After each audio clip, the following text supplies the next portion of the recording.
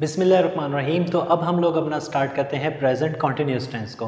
Present continuous tense का इस्तेमाल हम लोग कहाँ पे करते हैं? इसको देखने के लिए सबसे पहले यहाँ पे मैंने इसकी एक पिक्टोरियल डायग्राम बना दी है। In this pictorial diagram you can see that present continuous tense जो होता है, वो हम हालिया जितनी भी चीज़ें होती हैं, जो प्रेजेंटली ऑन गोइंग हो रही होती हैं, जो अभी फॉर एग्ज़ाम्पल मैं पढ़ा रहा हूँ, आप लोग मुझे सुन रहे हैं, ये सारी एक्टिविटी जो on the spot present time में हो रही है, उसके जो है, उस टाइम लाइन में ये आ रहा होता है प्रेजेंट कॉन्टीन्यूस और प्रेजेंट कॉन्टीन्यूस टेंस जो है, उसके मतलब हम लोग सबसे पहले देख लेते हैं प्रेजेंट कॉन्टीन्यूस टेंस और प्रेजेंट सिंपल टेंस में डिफरेंस क्या है। जी हाँ ये एक छोटा सा डिफरेंस है जो आपको लाजमी पता होना चाहिए, ताकि आपके एकेडमिक्स या आपके टीचर्स जब आपसे पूछें कि बहरहाल दोनों ही प्रेजेंट टेंस हैं, इन दोनों का इस्तेमाल कहाँ पर किया जाता है तो आपके पास इसका आंसर भी हो।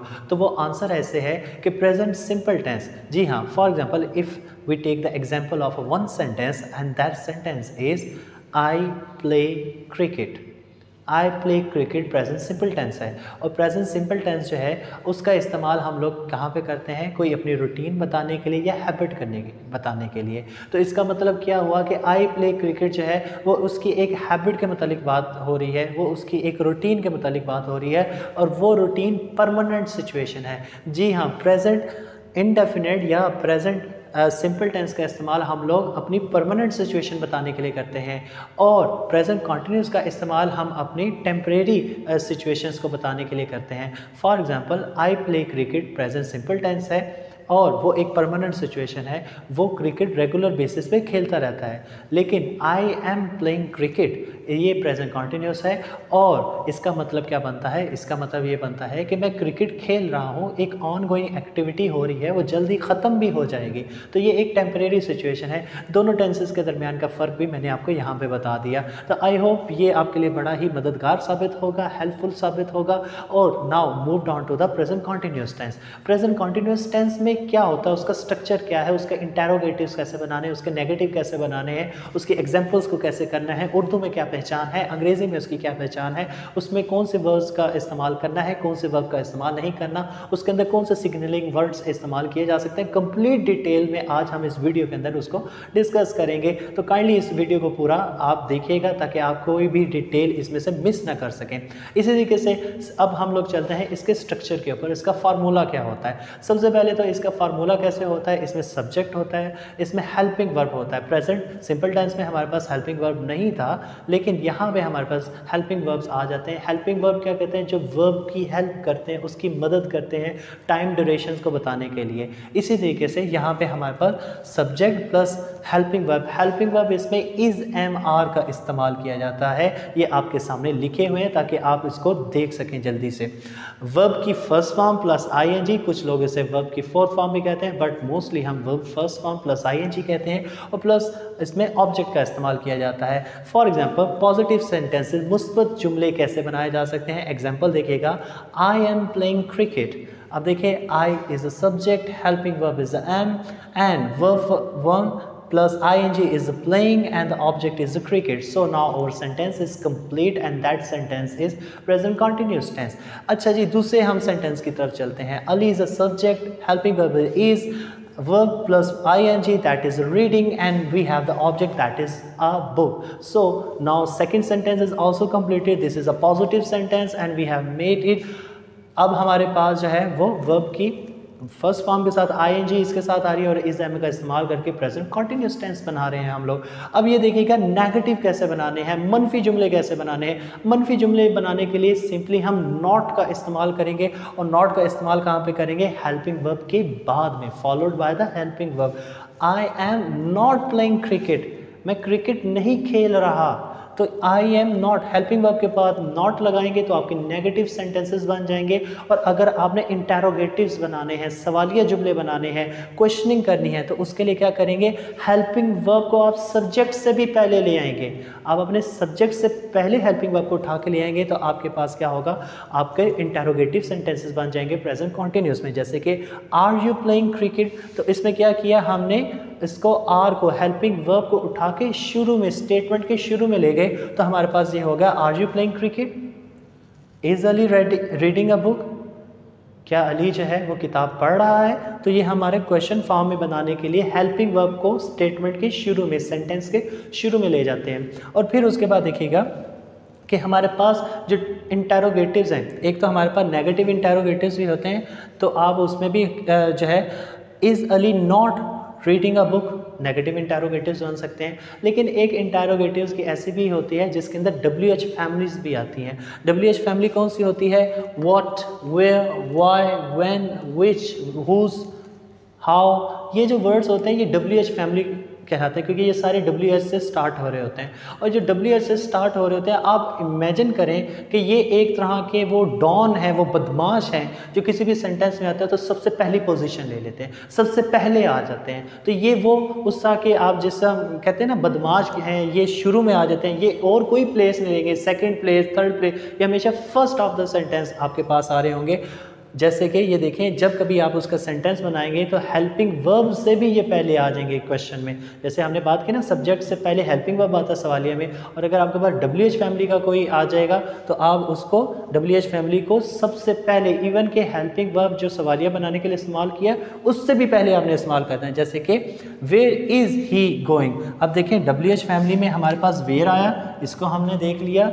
अब देखें इज़ हेल्पिंग वर्ब था, ये इज़ से भी पहले आ गया।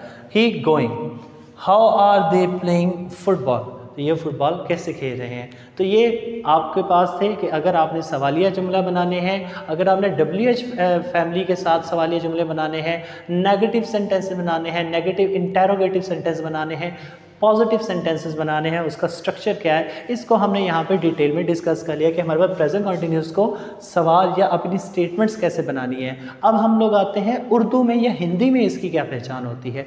उर्दू या हिंदी में किसी भी फ़िक्रे के आखिर में रहा है, रही है, रहे हैं, आता है तो उसकी पहचान हमने रखी हुई है कि ये प्रेजेंट कॉन्टीन्यूस का टेंस होगा। जैसे कि हमारे पास ये सेंटेंसेस हैं, फ़हद गाना गा रहा है, अलीना किताब पढ़ रही है उस्ताद क्लास में पढ़ा रहा है। मैं क्रिकेट खेल रहा हूँ। क्या तुम सो रहे हो? तुम क्यों सो रहे हो?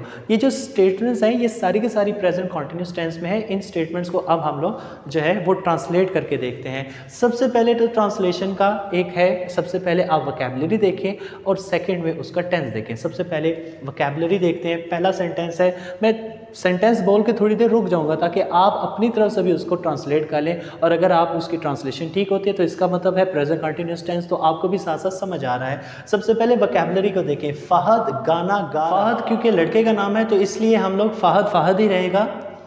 और इसके बाद हम लोग क्या करेंगे? गाना। गाने की इंग्लिश है सॉन्ग गा रहा है सिंग और रहा है इसे हमें पता चल रहा है, ये प्रेजेंट कॉन्टीन्यूस है तो हम लोग क्या करेंगे? इसके साथ आईएनजी लगा देंगे। फ़हद क्योंकि फ़हद एक सिंगुलर है तो इसके साथ इज़ आएगा इज़ सिंगिंग अ सॉन्ग तो ये हमारे पास इस तरीके से ये ट्रांसलेट हो जाएगा। आप में से जिसने इसको सही जो है वो देखा होगा या इसको बोला होगा, उसके लिए एक मार्क बन जाता है। अलीना किताब पढ़े अलीना, क्योंकि एक लड़की का नाम है तो अलीना इसी तरीके से रहेगा।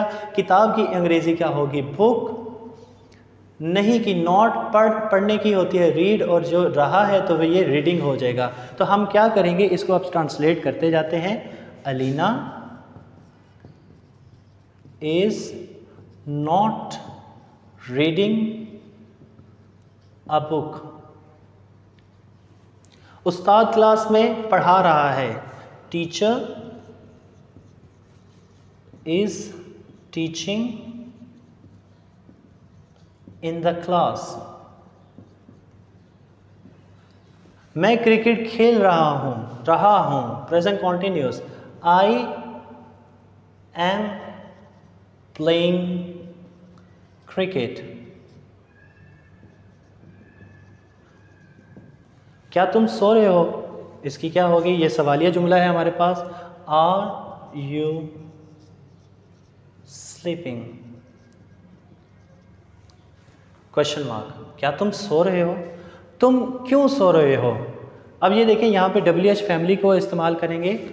वाई आर यू स्लीपिंग तुम क्यों सो रहे हो?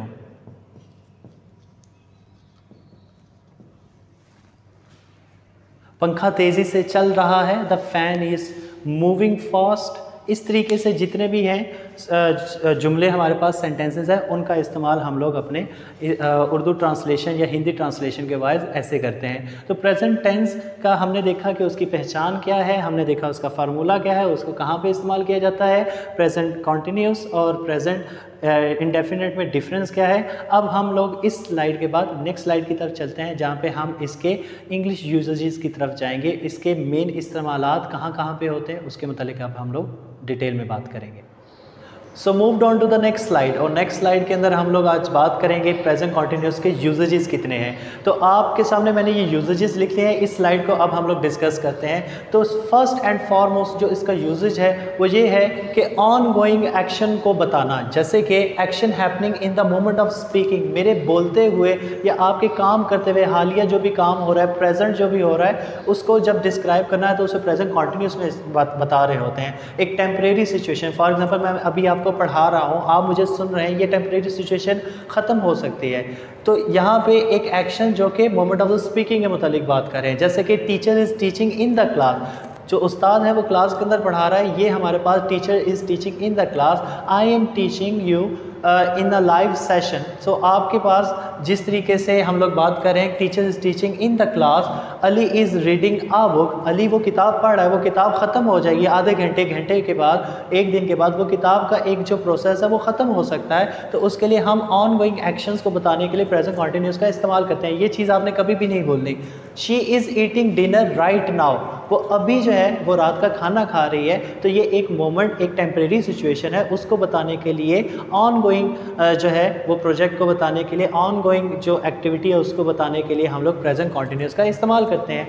सेकेंड हम लोग टेम्प्रेरी सिचुएशंस के मतलब इसका इस्तेमाल करते हैं। टेम्प्रेरी इवेंट्स को बताने के लिए कि जो हम फॉर एग्ज़ाम्पल एक कंडीशनल किस्म की चीज़ है he is studying a new language वो एक नई ज़ुबान जो है, उसको पढ़ रहा है। वो लैंग्वेज को अभी एक्वायर कर रहा है, दो महीने बाद, तीन महीने बाद वो लैंग्वेज को सीखना बंद कर देगा। ये एक टेम्प्रेरी सिचुएशन है कि वो अभी क्या कर रहा है।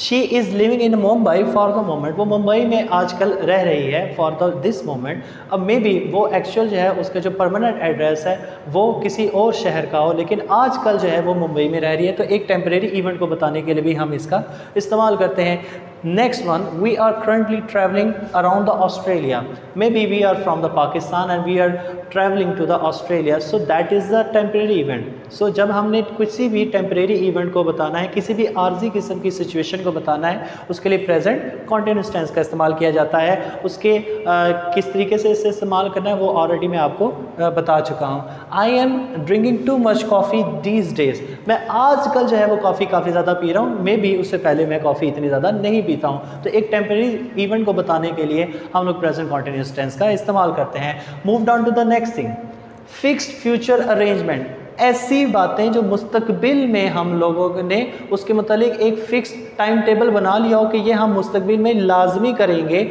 उसके लिए भी हम प्रेजेंट कॉन्टीन्यूस का इस्तेमाल करते हैं। फ्यूचर इवेंट है, लेकिन फिक्स्ड अरेंजमेंट है फिक्स्ड टाइम टेबल है। ये आपने अपने माइंड में लाजमी याद रखनी है। I am getting married in January ये जनवरी जो है वो मुस्तबिल का तो ज़रूर है, लेकिन एक फ़िक्स्ड अरेंजमेंट है फ्यूचर की। तो जब आपने फ्यूचर की फ़िक्स अरेंजमेंट यानी मुस्तबिल में कोई बात बतानी है, उसके लिए भी प्रेजेंट कॉन्टीन्यूस का इस्तेमाल करना है, जब वो आपके पास एक अरेंजमेंट फ़िक्स्ड हो चुकी हो। वो बात आपने एक टाइम टेबल में लेकर आ चुके हो कि ये हमने उस मंथ में या उस टाइम पर लाजमी करना है। He is visiting his parents tonight ठीक है? वो आज राज है, वो अपने वालदेन से जाके मिलेगा। She is not going to the birthday party next weekend वो अगले हफ़्ते बर्थडे पार्टी पे नहीं जाएगी। ये एक फ्यूचर का जो है इवेंट है, लेकिन फिक्स्ड इवेंट है, क्योंकि वो उसने माइंड में बना लिया कि अगले हफ़्ते जो है मैंने अपने उस दोस्तों की बर्थडे पार्टी पे नहीं जाना। तो आपने जब भी फ्यूचर का इवेंट बताना है तो उसके लिए आपने क्या करना है? उसके लिए प्रेजेंट कॉन्टीन्यूस का इस्तेमाल करना है। फोर्थ वन पे आते हैं। कोई भी annoying behaviour by using these words like always, forever and constantly, we can utilize these words in our writing so जब कभी हमने किसी अनोइंग बिहेवियर को बताना हो बाय यूजिंग दीज वर्ड्स तो हम लोग भी क्या करते हैं? प्रेजेंट कॉन्टिन्यूस टेंस का इस्तेमाल करते हैं। For example he is constantly talking annoying behaviour with the word constantly तो उसके लिए हम लोग क्या करते हैं? हम उसको प्रेजेंट कॉन्टिन्यूस टेंस में इस्तेमाल करते हैं। She is always coming late to the class again annoying behaviour है डिस्टर्बिंग बिहेवियर है with the words like always my sister is always living the kitchen in a mess मेरी जो बहन है किचन का जब भी इस्तेमाल करती है, वो किचन को काफ़ी ज़्यादा मैसी हालत में छोड़ देती है। तो क्या हुआ कि जब कभी आपने किसी अनोइंग बिहेवियर को भी बताना है बाई यूजिंग दीज वर्ड्स तो उसके लिए भी प्रेजेंट कॉन्टीन्यूस का इस्तेमाल किया जा सकता है। तो हमने यहाँ पे देखा कि हमारे यूजेज क्या हैं और अब हम लोग अपनी नेक्स्ट स्लाइड पे जाते हैं, जिसके अंदर हम फर्दर डिस्कस करेंगे। वो कौन से वर्ब्स हैं, वो कौन सी कंडीशन हैं जिसके अंदर प्रेजेंट कॉन्टीन्यूस का इस्तेमाल नहीं किया जा सकता। पहले तो हम लोग ये पढ़ते रहे हैं कि कहाँ पे प्रेजेंट कॉन्टिन्यूस का इस्तेमाल करना है, बल्कि अब इस स्लाइड के अंदर हम एक और ट्रिकी चीज़ की तरफ़ जाएँगे कि प्रेजेंट कॉन्टिन्यूस का इस्तेमाल कहाँ पे नहीं करना। जी हाँ कहाँ पे इसका इस्तेमाल नहीं करना? इसका इस्तेमाल हम लोगों ने, ये मैंने स्लाइड बना रखी है कि इसका इस्तेमाल स्टेटिव वर्ब्स के साथ नहीं करना। स्टेटिव वर्ब्स कौन से होते हैं? Stative verbs non continuous form में होते हैं, इनको कॉन्टिन्यूस फॉर्म में लिखा ही नहीं जा सकता। इसलिए हम लोग स्टेटिव वर्ब्स को प्रेजेंट सिंपल टेंस में लिखते हैं बजाय के प्रेजेंट कॉन्टिन्यूस टेंस में।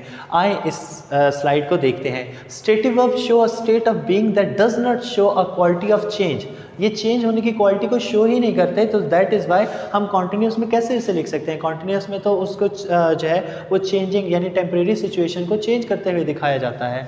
These verbs can stay in simple present tense for example ये हमारे पास स्टेटिव वर्ब्स की डिफरेंट टाइप्स हैं, यानी एक कैटेगराइज कर दिया है थोड़ा सा कि कम्युनिकेशन जैसे अग्री वर्ड है प्रॉमिस लव्स है सरप्राइज़ वर्ड है या अपीयरेंस से रिलेटेड जैसे सीम लव्स है लुक लव्स है अपीयर लव्स है साउंड लव्स है या रिजेंबल है। कोई फीलिंग्स को बताने वाले वर्ड्स हैं जैसे लाइक है लव है हेट है डिटेस्ट करना है ठीक है? uh, या वांट लव्स है आपकी जितनी फाइव सेंसेस हैं जैसे हीयर करने की है स्मेल करने की है आपकी टेस्ट करने की है इनके साथ हम लोग कॉन्टीन्यूस फॉर्म यानी I N G is am are का इजाफा नहीं करते बल्कि इसको सिंपल प्रेजेंट टाइप वर्ब की फ़र्स्ट फॉर्म के साथ इसको लिखा जाता है। इसे कॉन्टीन्यूस जो है फॉर्म में आपने नहीं लिखना।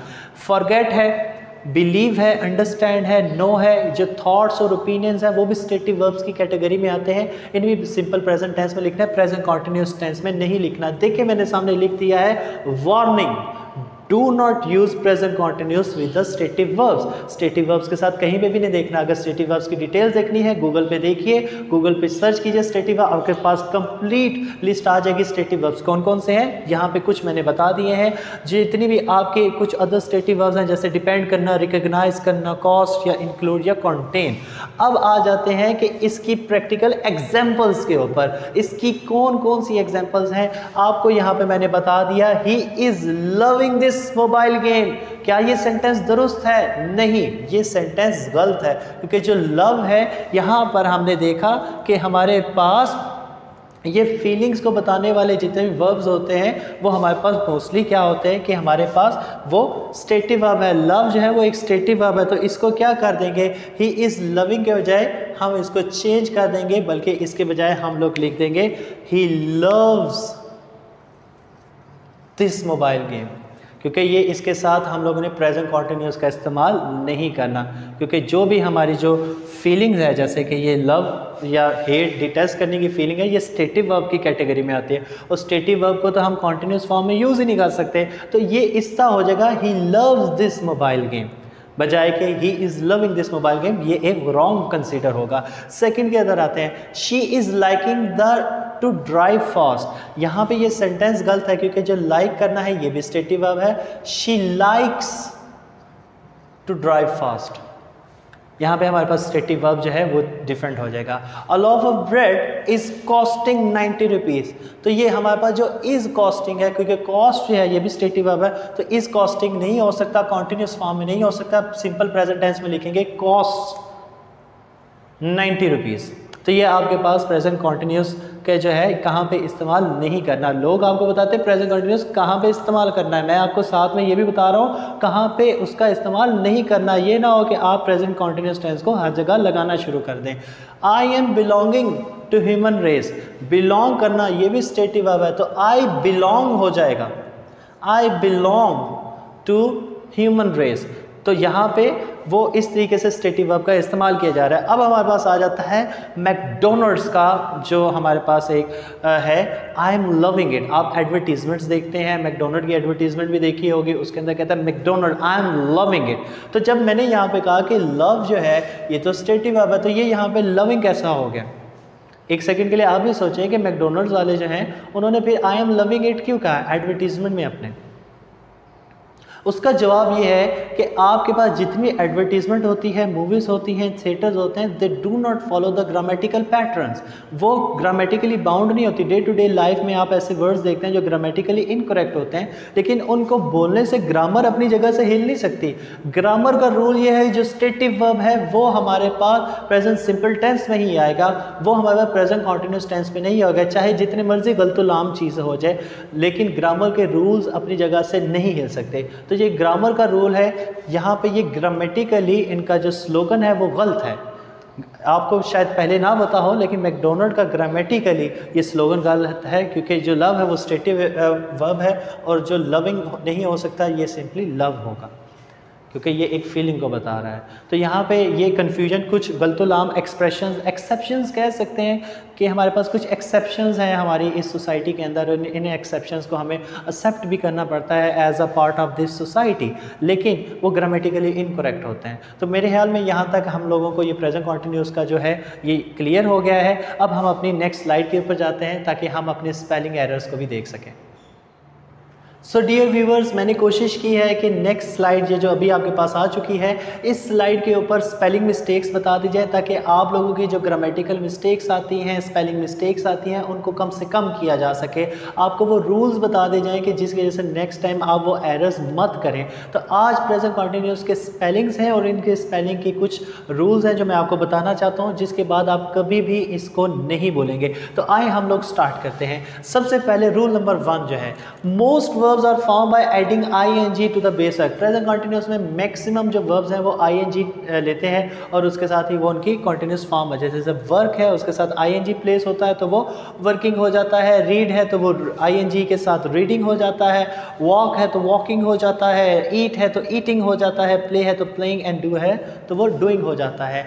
अब ये तो हम लोगों को ऑलरेडी पता है। क्या नहीं पता, वो नेक्स्ट वाले में हम लोग देखते हैं कि इफ़ द बेस वर्ब आपका जो भी बेस वर्ब होगा, जो मेन वर्ब होगा एंड्स इन आई अगर वो आई ई पे एंड हो रहा है तो उसको चेंज करके आप वाई में कन्वर्ट कर देंगे जैसे लाई है तो वाई उसके एंड में आ जाएगा, जब उसको कॉन्टीन्यूस फॉर्म में चेंज करेंगे तो वो लाइंग हो जाएगा। डाई है डी आई ई डाई है तो वो डाइंग हो जाएगा। आई ई को हम स्किप कर देंगे, उसके मुतबादल हम लोग वाई ऐड कर देंगे ये बात आपको देखने वाली है।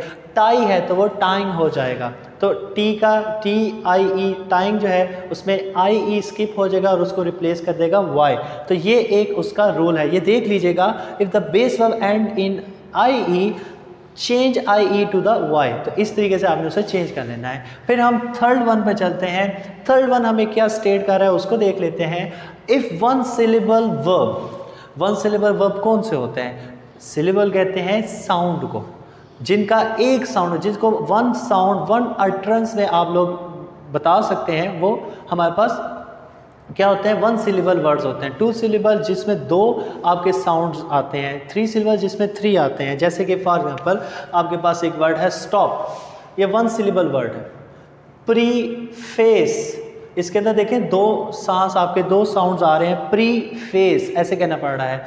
और एक लफ्ज़ है ब्यू टी फुल अब इसमें थ्री सिलेबल्स आ रहे हैं। तो ये सिलेबल साउंड पैटर्न्स होते हैं। डिटेल्स में आप उसे गूगल पे भी देख लीजिएगा। यहाँ पे मैंने एक आपको इसका क्रक्स बता दिया है कि वन सिलेबल वर्ब्स कौन से होते हैं, जो एक ही साउंड में अटरेंस हो सकती है, एक ही साउंड में बोले जा सकते हैं।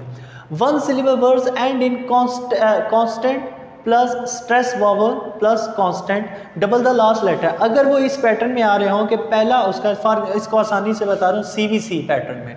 ठीक है? कांस्टेंट स्ट्रेस वॉवल और कांस्टेंट अगर इस पैटर्न में आ रहे हो तो लास्ट वाला जो है, उसका वो लेटर डबल कर देना। यानी कि दो कांस्टेंट्स ने एक वावल को घेरा हो। दो कांस्टेंट्स के दरमियान में एक वावल हो और वो स्ट्रेस वावल हो। जैसे कि स्टॉप इसके अंदर जो वावल है, ये हमारे पास ओ, इसके ऊपर स्ट्रेस आ रही है। तो इस तरीके से ये देखेंगे स्टॉप एस आखिरी तीन वर्ब देखने हैं। बाकी पहले वाले नहीं देखने, सिर्फ़ आखिरी जो तीन लेटर्स हैं, उनको देखना है। सीवीसी पैटर्न में। क्या वो सीवीसी पैटर्न में है?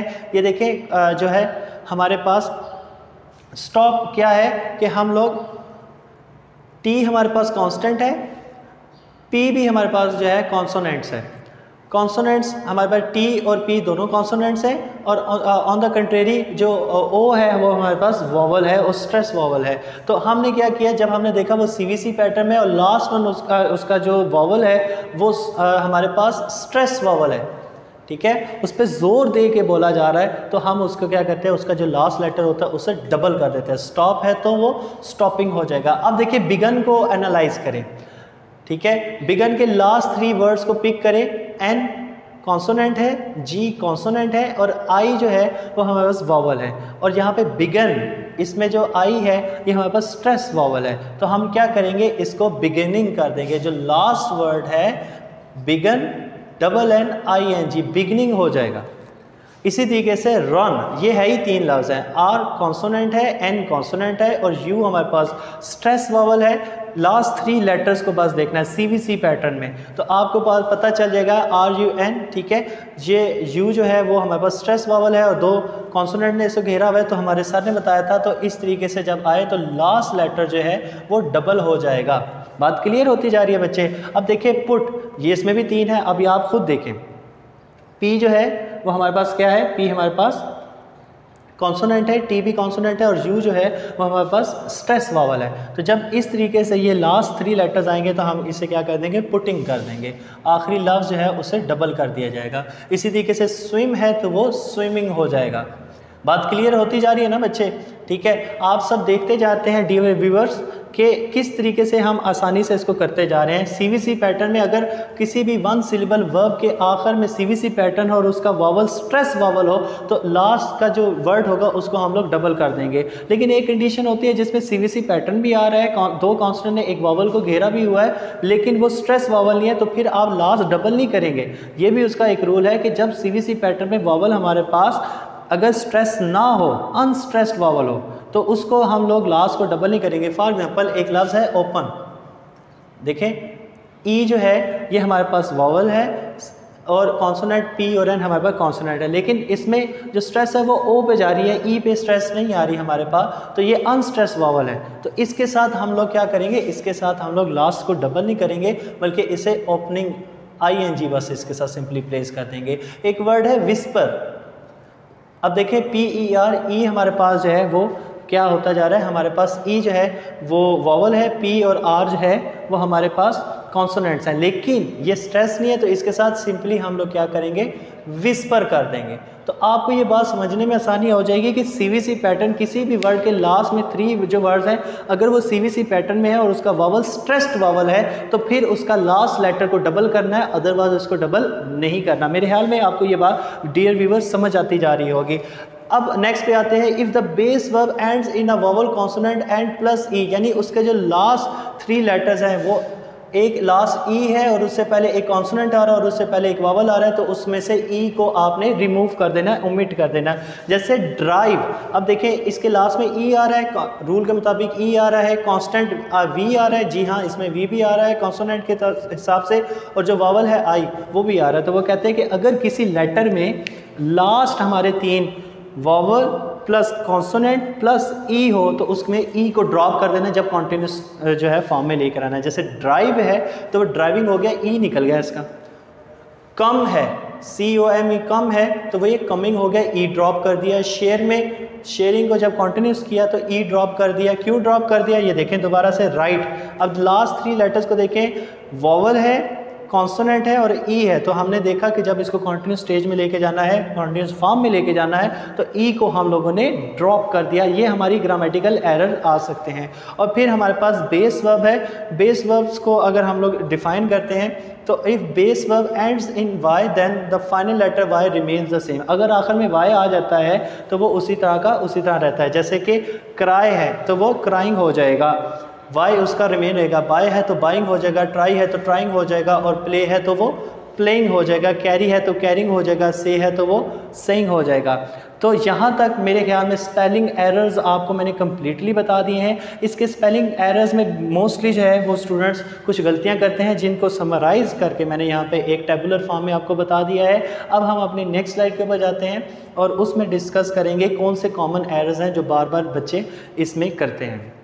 तो अब लास्ट की स्लाइड में हम लोग डिस्कस करने वाले हैं कि कौन से हमारे ग्रामेटिकल एरर्स हो सकते हैं जो हमारे एम सी क्यूज़ या कम्पटिटिव एग्जामिनेशन में जब कभी या हमारे एकेडमिक्स में भी हमारे पास जब एम सी क्यूज़ फॉर्म में आते हैं तो हम हम वहाँ पे गलती कर सकते हैं। तो ये एरर्स को डिफ़ाइन कर दिया जाता है। आज मैं आपको बता देता हूँ कि इसमें से कौन कौन से एरर आ सकते हैं और जो आप एरर्स को रिमूव करके अपनी राइटिंग को और अपने जो एकेडमिक मार्क्स हैं या कम्पटिशन के मार्क्स हैं, उनमें हायर स्कोर कर सकते हैं। तो सबसे पहले मैं आपको बता देता हूँ प्रेजेंट कॉन्टीन्यूस में हमारे पास वर्ब इनकरेक्ट हो सकता है। जी हाँ जो आपके पास मेन वर्ब है, वो हमारे पास गलत हो सकता है। जैसे कि स्टेटमेंट मैंने एक लिख दी है ही इज़ प्ले क्रिकेट तो यहाँ पे आपको ऑटोमेटिकली पता चल गया होगा कि कॉन्टिन्यूस में तो वर्ब की फ़र्स्ट फॉर्म के साथ आई आता है। तो यहाँ पे तो प्ले लिखा हुआ है तो इसको क्या होना चाहिए था? इसको प्लेइंग होना चाहिए था। तो आप इसके ऑप्शन में तो देखिए ऑप्शन में से कौन सा आपको ठीक लग रहा है?